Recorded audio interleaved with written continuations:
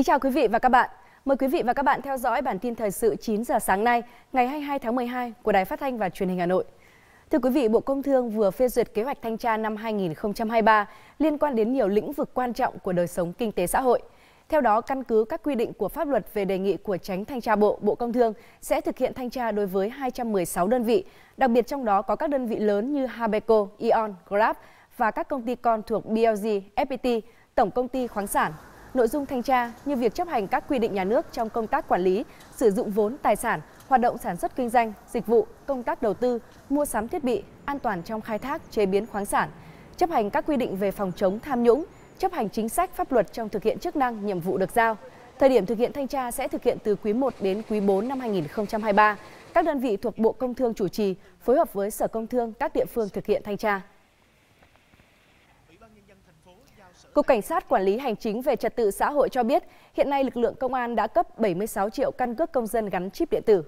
Đồng thời đẩy mạnh triển khai các phương thức ứng dụng dữ liệu dân cư, căn cước công dân và xây dựng hệ thống cơ sở dữ liệu phục vụ kết nối, chia sẻ thông tin với cơ sở dữ liệu quốc gia về dân cư. Việc sử dụng tài khoản định danh điện tử sẽ là một trong các phương thức giúp người dân sử dụng thay thế cho sổ hộ khẩu, sổ tạm trú giấy từ ngày 1 tháng 1 năm 2023. Cục Cảnh sát Giao thông Bộ Công an cho biết, trong tháng qua, lực lượng cảnh sát giao thông trên toàn quốc đã phát hiện, xử lý hơn 266.000 trường hợp vi phạm trật tự an toàn giao thông, phạt tiền gần 500 tỷ đồng. So với tháng trước liền kề, số vi phạm tăng gần 17.000 trường hợp, tiền phạt tăng gần 50 tỷ đồng. Đặc biệt, lực lượng cảnh sát giao thông đã phát hiện xử lý hơn 40.000 tài xế vi phạm nồng độ cồn, tăng hơn 2.700 trường hợp so với thời gian cùng kỳ trước đó. Đồng thời có hơn 220 trường hợp điều khiển xe trên đường trong cơ thể có chất ma túy.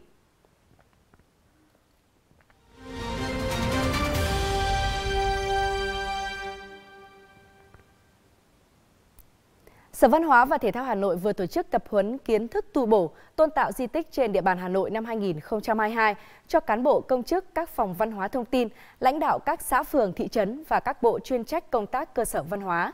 các trưởng ban quản lý di tích trên địa bàn thành phố.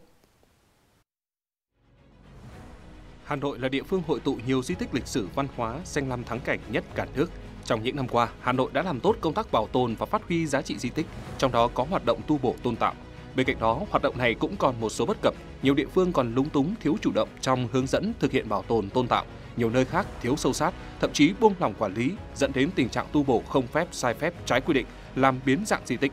Giai đoạn 2022-2025 và các năm tiếp theo, thành phố đầu tư hơn 14.000 tỷ đồng để tu bổ 579 di tích. Đây là chủ trương có ý nghĩa đặc biệt quan trọng, song đồng thời cũng đặt ra những thách thức cho công tác bảo tồn phát huy giá trị di sản, cụ thể là hoạt động tu bổ tôn tạo trong thời gian tới.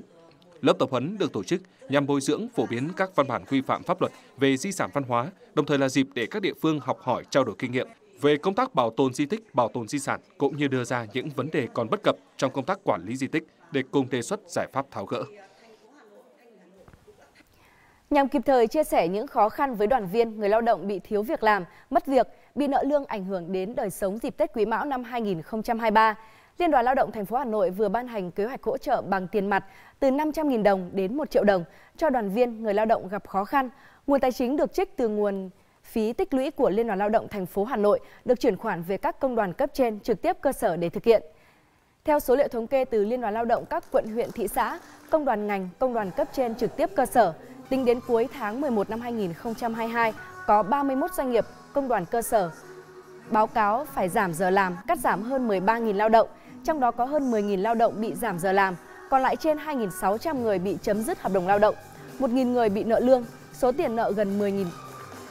gần 10 tỷ đồng. Nguyên nhân chính là đơn hàng từ các đối tác Mỹ và EU sụt giảm mạnh. Theo kế hoạch số 69 của Liên đoàn Lao động thành phố, đối tượng được hỗ trợ là đoàn viên, người lao động có quan hệ lao động ký hợp đồng trước ngày 1 tháng 10 năm 2022 đang làm việc tại các doanh nghiệp sản xuất kinh doanh có tổ chức công đoàn thuộc Liên đoàn Lao động quản lý hoặc doanh nghiệp chưa có tổ chức công đoàn nhưng đã thực hiện trích nộp phí công đoàn. Đoàn viên, người lao động đang bị tạm hoãn hợp đồng lao động, nghỉ việc không lương từ sau ngày 1 tháng 10 năm 2022 Do doanh nghiệp gặp khó khăn, đoàn viên người lao động bị nợ lương ít nhất 3 tháng. Do doanh nghiệp khó khăn hoặc chủ bỏ trốn được hỗ trợ 1 triệu đồng một trường hợp. Còn đối với đoàn viên, người lao động trong các doanh nghiệp gặp khó khăn, người sử dụng lao động và công đoàn cơ sở không bố trí được tiền thưởng năm, tiền thưởng Tết cho người lao động, đoàn viên, người lao động bị cắt giảm thời gian làm việc tiêu chuẩn, bị ngừng việc có thu nhập bình quân tháng 10 và tháng 11 năm 2022 dưới mức lương tối thiểu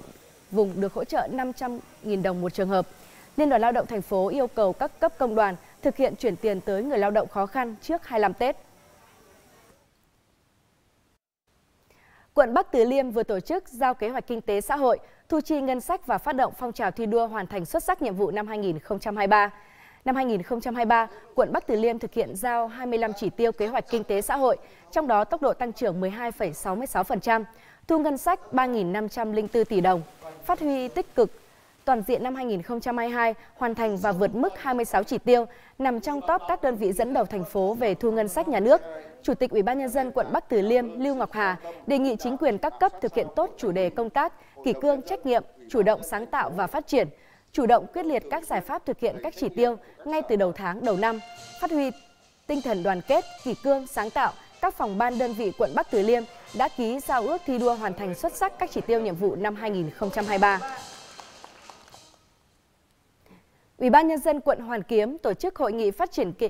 kế hoạch kinh tế xã hội, dự toán thu chi ngân sách, tổng biên hành chính, sự nghiệp và phát động phong trào thi đua năm 2023. Mục tiêu tổng quát năm 2023 của quận đề ra là tiếp tục thực hiện có hiệu quả chủ đề công tác năm của thành phố, kỷ cương, trách nhiệm, hành động, sáng tạo, phát triển và chủ đề của quận là kỷ cương, an toàn, phát triển. Tập trung phục hồi và phát triển kinh tế, đảm bảo an sinh xã hội, phấn đấu hoàn thành xuất sắc toàn diện các chỉ tiêu, nhiệm vụ phát triển kinh tế xã hội năm 2023. Quận đề ra các giải pháp cụ thể như nâng cao hiệu quả công tác quản lý thu ngân sách, phát triển nguồn thu bền vững, tạo môi trường kinh doanh thuận lợi cho doanh nghiệp, đẩy mạnh chuyển đổi số trong công tác quản lý thuế, khai thuế, nộp thuế, đẩy nhanh tiến độ các dự án đầu tư xây dựng cơ bản năm 2023, nhất là các dự án trọng điểm. Tại hội nghị, Chủ tịch Ủy ban nhân dân quận Hoàn Kiếm Phạm Tuấn Long phát động phong trào thi đua đặc biệt mừng Đảng, mừng Xuân, phấn đấu hoàn thành xuất sắc nhiệm vụ năm 2023 và phục vụ nhân dân đón Tết Nguyên đán Quý Mão năm 2023 với phương châm vui tươi, an toàn, lành mạnh tiết kiệm, mọi người, mọi nhà cùng có Tết.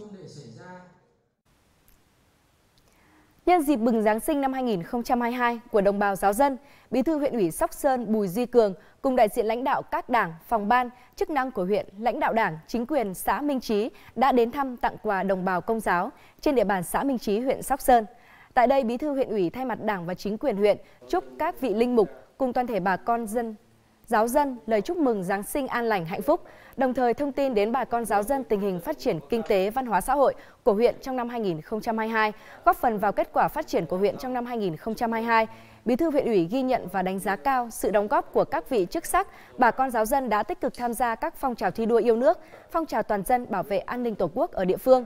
đồng thời luôn mong muốn sự phối hợp chặt chẽ với địa phương trong công tác bảo đảm an ninh trật tự, đẩy mạnh phát triển kinh tế, chấp hành nghiêm chủ trương, đường lối của Đảng, chính sách pháp luật của nhà nước, phát huy tinh thần yêu nước, sống tốt đời đẹp đạo, xây dựng quê hương giàu đẹp văn minh. Trước sự quan tâm của lãnh đạo huyện trong nhiều năm qua, Linh mục Vũ Quang Trí thay mặt bà con giáo dân gửi lời cảm ơn sự quan tâm của Đảng nhà nước, việc thăm tặng của đồng bào công giáo tại xã Minh Trí, huyện Sóc Sơn. Đây là phần quà mang ý nghĩa động viên tinh thần, là lời chúc mừng Giáng sinh vui vẻ tới các gia đình đồng bào giáo dân trên địa bàn huyện đón một Giáng sinh an lành hạnh phúc. Trong những năm qua, thực hiện chương trình xây dựng nông thôn mới, nhiều địa phương tích cực chuyển đổi cơ cấu cây trồng, vật nuôi. Nhờ đó, các hộ nông dân đã xây dựng được những mô hình kinh tế hiệu quả, đời sống của họ nhờ đó cũng ngày một nâng cao. Đây là khu ruộng rộng 3 mẫu được chuyển đổi từ đất lúa kém hiệu quả sang trồng hoa của gia đình ông Lưu ở xã Kim Lan, huyện Gia Lâm. Thửa đất này được ông Lưu gom và thuê lại của nhiều hộ dân khác. Trên diện tích lớn, ông mạnh dạn đầu tư kỹ thuật, thuê người trồng các loại hoa trang trí. Thời điểm này, nhà vườn đang tập trung chăm bẵm cho vụ hoa Tết. Theo chia sẻ của ông Lưu, thị trường năm nay sẽ sôi động hơn năm trước, tuy nhiên giá sẽ bình ổn chứ không có nhiều biến động cho với như ngày trước chúng tôi làm cây lúa, à, làm cây ngô và cây rau thì làm hoa cho thu nhập ít nhất là gấp 3 đến 5 lần. Thí dụ như trước chúng tôi làm cây rau thì thu nhập một cây rau trung bình một năm là hai vụ chỉ được khoảng tầm 5 triệu một vụ là 10 triệu. Nhưng tôi làm hoa ly có những năm và những cái hoa này thì có thể thu nhập tới 3 40 triệu một xào là bình thường. Tại vựa rau Văn Đức, hiệu quả của chương trình chuyển đổi cơ cấu cây trồng lại càng thấy rõ.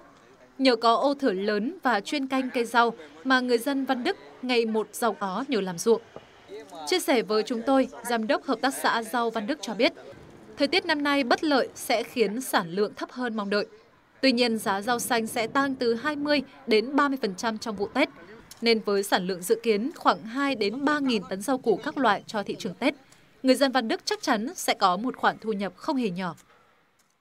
Cái nông thôn mới từ cái chuyển biến, từ những cái chuyển đổi, từ những cái quy hoạch vùng, rồi những cái mà chuyển đổi cơ cấu cây trồng nó đáp ứng phù hợp với tình hình của địa phương. Cho nên là cái thu nhập về cái nông nghiệp từ cái sản xuất nó tăng hàng năm. Đấy, thế thì tôi cho là từ cái triển khai chương trình nông thôn mới nó mang lại những cái lợi ích mang lại những cái giá trị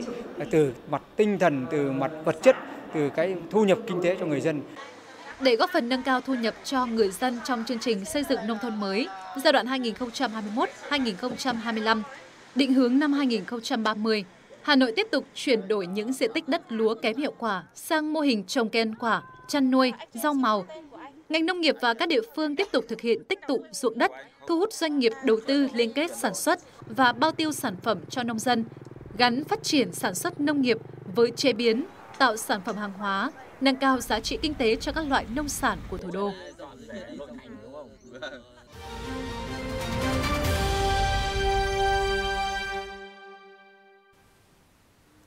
Xin được chuyển sang phần tin thế giới cập nhật các sự kiện diễn ra trong 24 giờ qua. 7 ngày sau cuộc bầu cử quốc hội, Fiji, một đảo quốc ở Thái Bình Dương, đã xác định được bên giành chiến thắng sau khi liên minh giữa Đảng Liên minh Nhân dân và Đảng Liên bang Quốc gia thành công trong cuộc đàm phán nước rút với Đảng Dân Chủ Tự do Xã hội, chấm dứt 16 năm cầm quyền của cựu Thủ tướng Frank Bainimarama. Dự kiến Quốc hội khóa 10 sẽ tổ chức phiên họp đầu tiên trong tuần này. Theo truyền thông khu vực, nhiều khả năng ông Sitiveni Rabuka, lãnh đạo Liên minh Nhân dân, sẽ được bầu làm thủ tướng mới của Fiji. Nhiều người dân Fiji đã xuống đường ở thủ đô Suva để ăn mừng và chúc mừng nhà lãnh đạo mới của đất nước. Ngân hàng Thế giới World Bank cho biết đã thông qua gói cứu trợ mới trị giá 610 triệu đô la Mỹ cho Ukraine nhằm duy trì các dịch vụ thiết yếu và hỗ trợ các cơ quan y tế của Ukraine trong bối cảnh chiến sự vẫn tiếp diễn. Theo thông báo của World Bank trong ngân sách mới, 500 triệu đô la Mỹ sẽ được cung cấp thông qua một khoản cho vay để hỗ trợ chính phủ Ukraine trang trải chi phí liên quan đến phúc lợi cho trẻ em và hộ gia đình, lương của công viên chức cũng như thanh toán các dịch vụ công thiết yếu. World Bank khẳng định duy trì những dịch vụ công quan trọng này có ý nghĩa quan trọng nhằm hạn chế tổn thất về người cũng như để tái thiết đất nước và nền kinh tế Ukraine sau xung đột. Đây là lần thứ ba World Bank thông qua gói ngân sách hỗ trợ Ukraine trong những tháng gần đây, với mỗi lần đều có giá trị lên tới 4,5 tỷ đô la Mỹ, cũng như đảm bảo cho vay 530 triệu đô la Mỹ hồi tháng 9. Tòa án thị trấn Izohau, miền Bắc nước Đức, đã kết tội Imgard Futner vì đã hỗ trợ và tiếp tay giết hơn 10.500 người thời Đức Quốc xã. Futner từ năm 18 tuổi đã làm thư ký cho chỉ huy trại tập trung Stutthof của Đức Quốc xã ở Ba Lan. Bà là người phụ nữ đầu tiên bị đưa ra xét xử vì tội ác thời Đức Quốc xã trong hàng chục năm gần đây. Tại phiên tòa, Fuchner ngồi trên xe lăn, đội mũ trắng, đeo khẩu trang y tế, vì chiếc chăn trên đùi. Các luật sư bào chữa cho bị cáo Fuchner trước đó kêu gọi tòa tuyên tranh án, cho rằng bằng chứng không cho thấy thân chủ của họ biết về các vụ giết người. Thẩm phán Dominic Ross, chủ tọa phiên tòa cho rằng không có gì xảy ra tại Stutthof mà Fuchner không biết, và bà cũng hiểu rõ tình cảnh vô cùng tồi tệ của các tù nhân. Một số nạn nhân sống sót sau thảm họa diệt chủng của Đức Quốc xã cũng xuất hiện trong phiên tòa. Nhiều người bày tỏ hài lòng về bản án.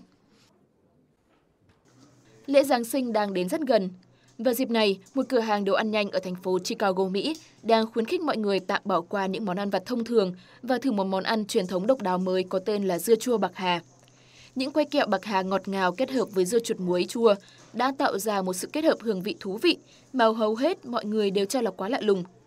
Anh Kinan Cole, chủ sở hữu của cửa hàng đồ ăn nhanh Munchies cho biết, ngoài món dưa chua bạc hà, một số khách hàng còn yêu cầu những cách kết hợp dưa chua thú vị khác như dưa chua cool ed được làm bằng cách ngâm dưa chuột muối chua trong hỗn hợp nước uống trái cây cool ed hay món dưa chua hot Cheeto Flamin được làm bằng cách rắc đồ ăn nhẹ Cheeto đã nghiền nhỏ lên khắp dưa chua.